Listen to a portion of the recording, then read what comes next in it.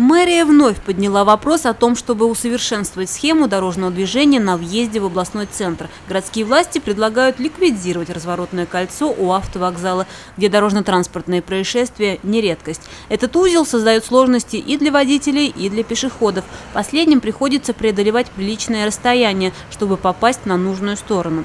Решать судьбу разворотного кольца автовокзала городские власти предоставили чиновникам областного уровня. Мэрия направит ходатайство в региональное правительство об оказании финансовой помощи для реализации задуманного.